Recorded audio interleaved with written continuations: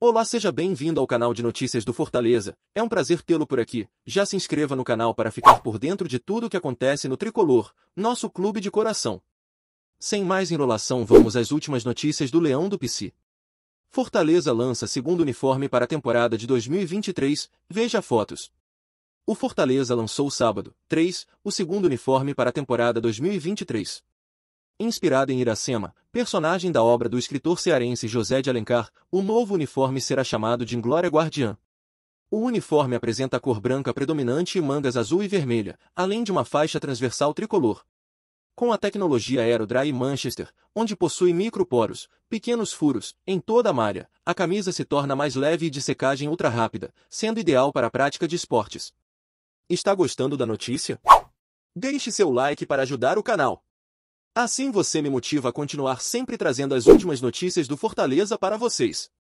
O novo uniforme, a Glória 2023, traz consigo toda a riqueza cultural do povo cearense, através da brilhante obra de José de Alencar que criou a personagem feminina mais decantada da nossa literatura e, hoje, se impõe como um dos mais icônicos símbolos de Fortaleza. O nosso novo uniforme vem com um faixa transversal que representa a nossa faixa litorânea, que tem como guardiã a guerreira Iracema, que protege nossa capital explicou o gerente de projetos, Bruno Baima. A camisa custa 289,90 para homens e 279,90 para mulheres. A estátua Iracema Guardiã referência ao romance Iracema, Lenda do Ceará, escrito pelo cearense José de Alencar, no ano de 1865. O monumento, localizado na praia de Iracema, homenageia a lendária figura indígena.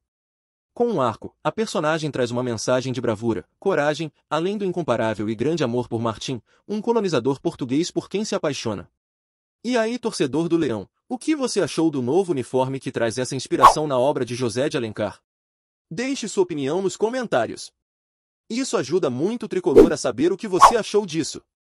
Fica ligado porque a qualquer momento eu volto e trago mais notícias do Fortaleza.